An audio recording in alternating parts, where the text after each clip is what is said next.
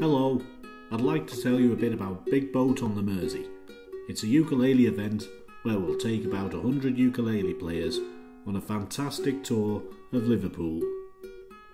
What better place to start the day than at the pub for the good old sing along with a themed songbook of Liverpool classics? We'll take the short trip down to Albert Dock and we'll climb aboard an iconic Mersey ferry for a tour of the river and the lovely sights of Liverpool. After the cruise, we'll have a spot of lunch and then have time to explore the Albert Dock area. This will include admission to the fantastic Beatles story. Here you'll learn all about the Fab Four, including what happened after the band split.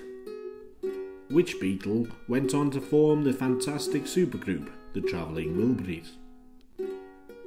Which of the quartet went on to record one of the most famous songs in music history? Which of the four achieved chart success with Wings?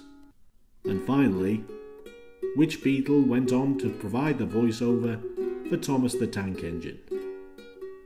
Hello, Gordon, said Thomas. Hello, Thomas, said Gordon. Next up, we'll have a tour of the city on a bus, taking in the sights and sounds of this fantastic, historic city. After some free time to get something to eat, we'll go back to the pub for a great concert, including the League of Ukulele Gentlemen, Dead Man's Uke, and Liverpool lad, Ukulele Uff.